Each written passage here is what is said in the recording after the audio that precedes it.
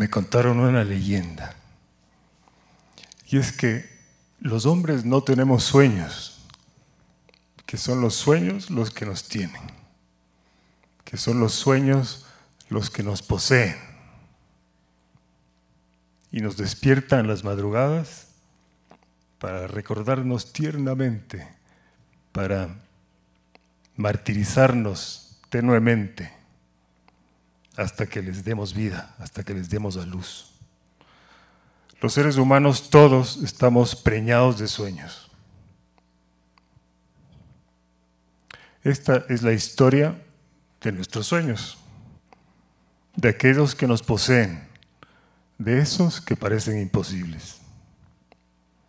Tres historias. La primera nace un 24 de febrero.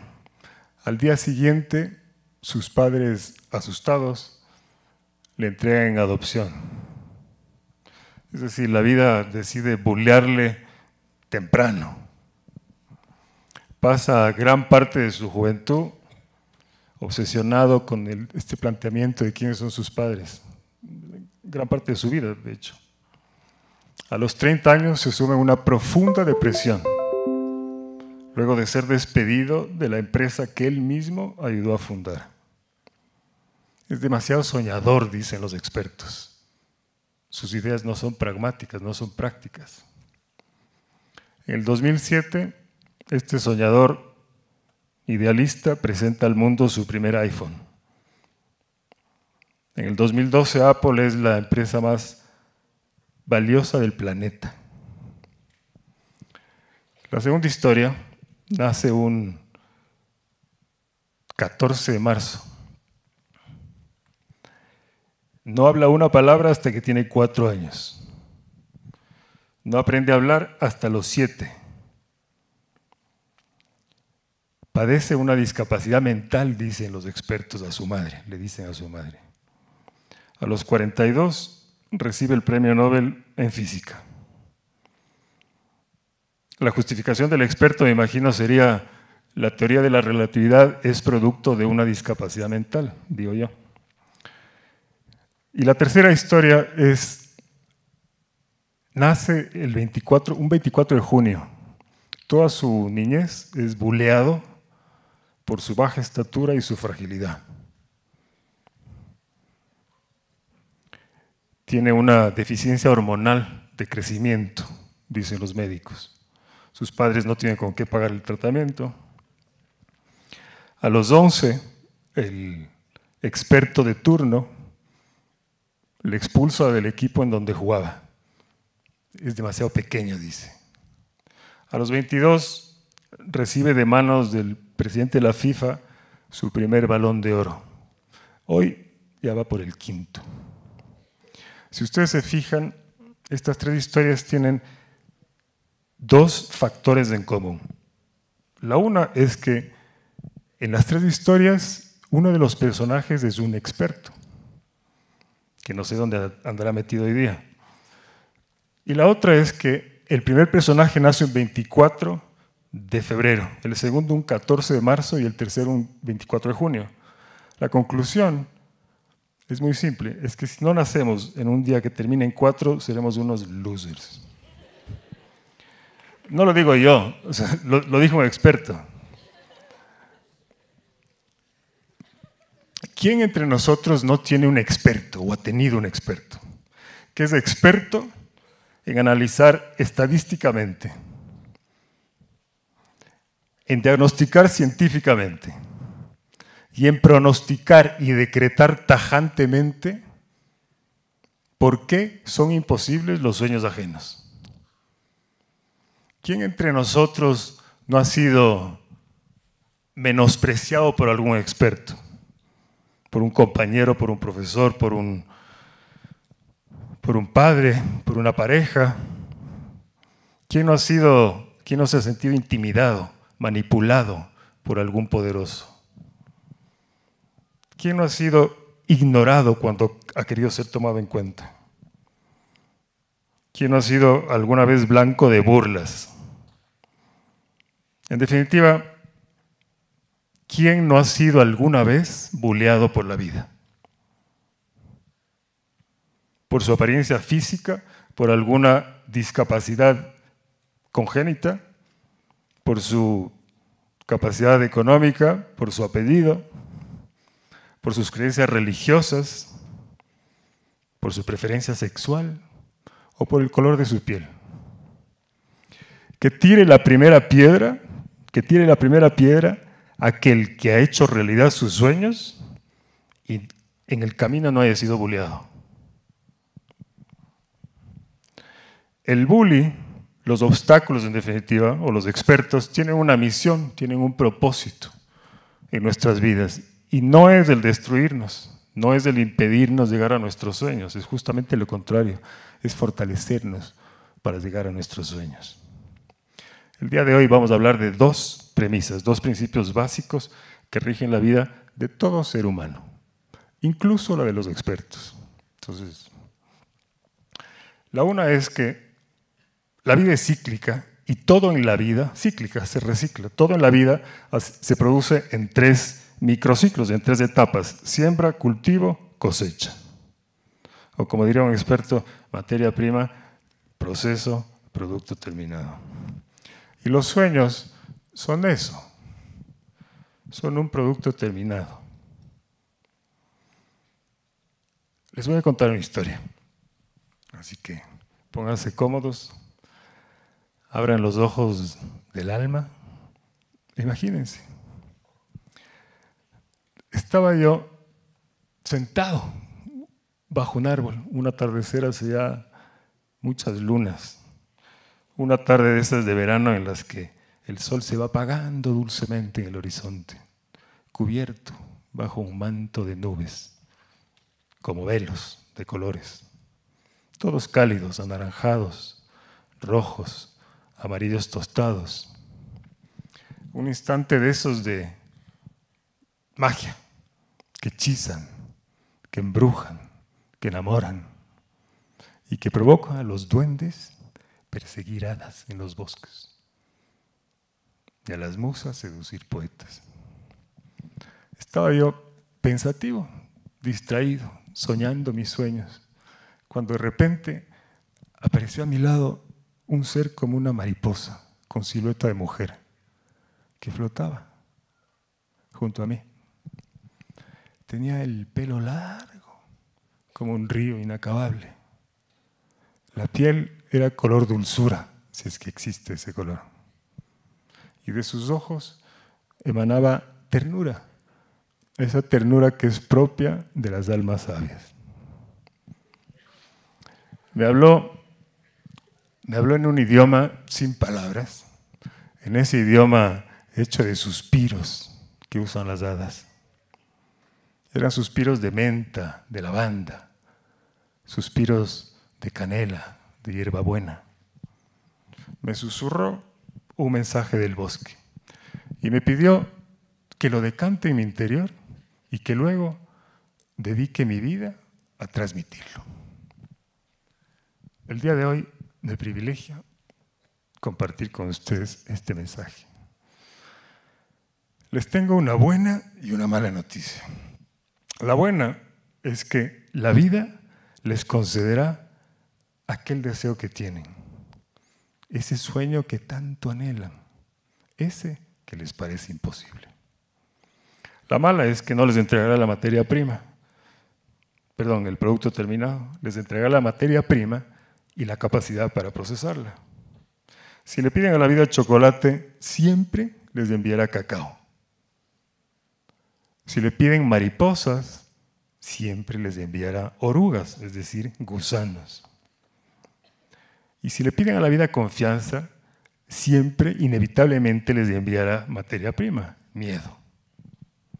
El miedo es a la confianza lo que la cebada es de la cerveza, lo que el cacao el chocolate y la oruga a la mariposa.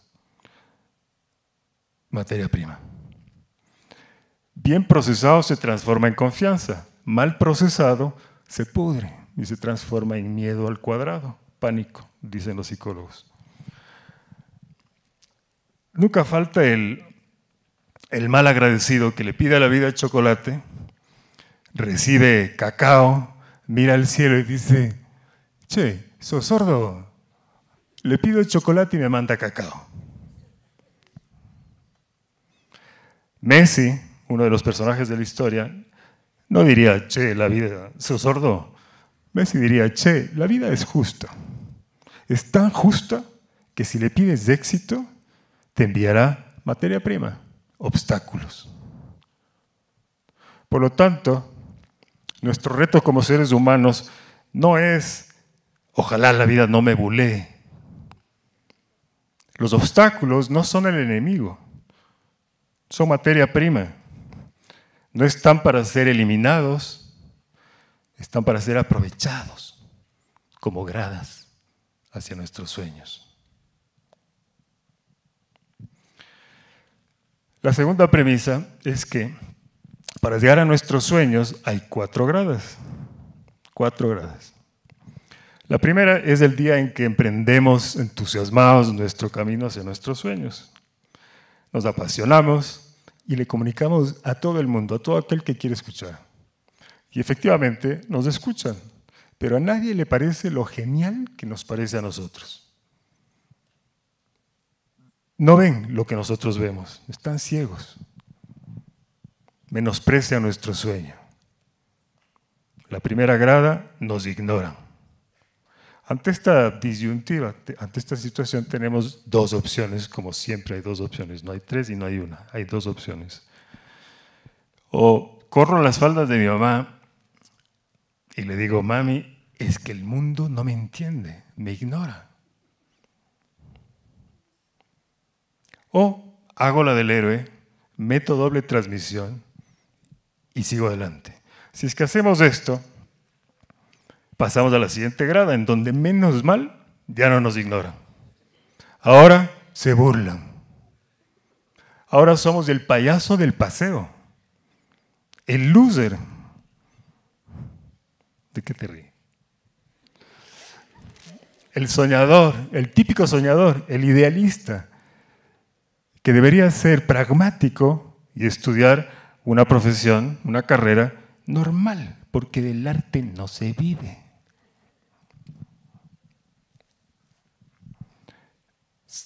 Se nos burla. Ante, esta ante este bullying emocional, dos opciones. O le damos a mi papá y le digo que, me, que además karateca, y le digo que me defienda del tipo que me dice payaso, o hago la del héroe, meto doble transmisión y sigo a la siguiente etapa. Si es que hacemos esto, pasamos a la siguiente grada, la tercera, en donde ya no nos ignoran, ya no se burlan, ya no nos atacan, perdón, ahora nos atacan. Los expertos de turno nos atacan. Ahora somos el malo del, del paseo, de la película. ¿Por qué? Porque atentamos contra sus intereses personales, contra el qué dirán, Ahora somos los rebeldes que patea el tablero conceptual de lo políticamente correcto, de lo socialmente aceptado y de lo tradicionalmente establecido. Es un tipo peligroso, dicen ahora. Nos puede hacer quedar mal, hay que sabotearle. Nos atacan. Ante esta disyuntiva tenemos nuevamente dos opciones o hago la de la víctima y me paso lo que me resta de vida, quejándome y culpando de mis sufrimientos a todo el que pase por delante, es decir, al malo de turno, a mis papás, a mi pareja, a mi profesor, a la crisis, al gobernante de turno, al tráfico o al clima. O hago la del héroe, meto doble transmisión y paso a la siguiente etapa, en donde ya no me ignoran, ya no se me burlan y ya no me atacan. Ahora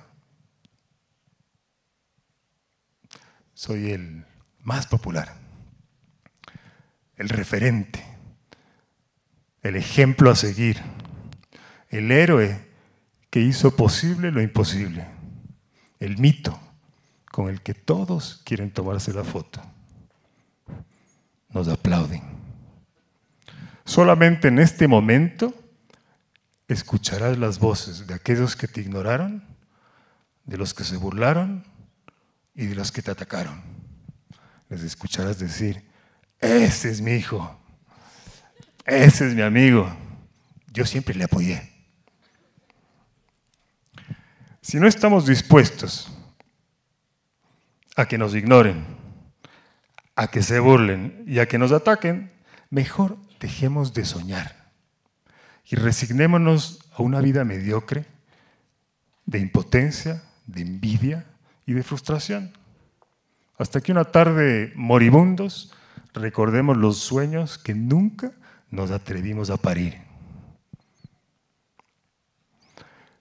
El obstáculo, el bully, es como el ángel de la guarda, digo yo. No te desampara ni de noche ni de día, hasta que no le utilices como grada para subir a tus sueños. Lincoln fue el que dijo, la única manera de eliminar un enemigo es haciéndole tu amigo. Bueno, con todo el respeto, yo también digo, la única manera de eliminar un obstáculo es transformándole una grada. Pero si estamos dispuestos a vivir la vida que siempre quisimos y a construir nuestros sueños, aquella que tantas veces hipotecamos a largo plazo a cómodas cuotas de conformidad, tendremos que exorcizar nuestros miedos, soltando el ancla de la queja, que es la tarjeta de presentación de la víctima, y elevando velas para navegar por los mares que solo los héroes se atreven a surcar.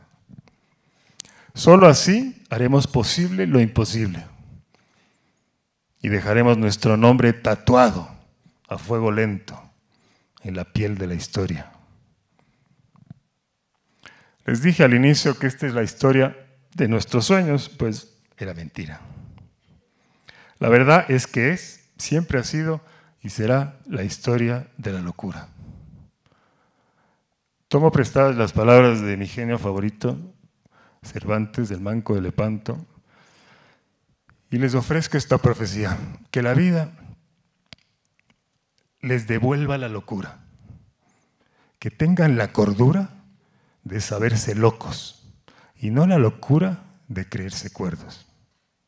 Y añado que tire la primera piedra el cuerdo que ha hecho algo en la historia. El éxito no será de los cuerdos que obedezcan ciegamente las leyes o reglas obsoletas y anticuadas de la sociedad. Tampoco será del rebelde sin causa que dice, dejen de prohibir tanto porque ya no alcanzo a desobedecer todo. El éxito será de aquel que tenga la locura de acudir al llamado de su voz interna, al suspiro de sus musas, de aquel que tenga el coraje de escuchar el canto de sus anhelos y obedecer el susurro de sus sueños. Muchas gracias.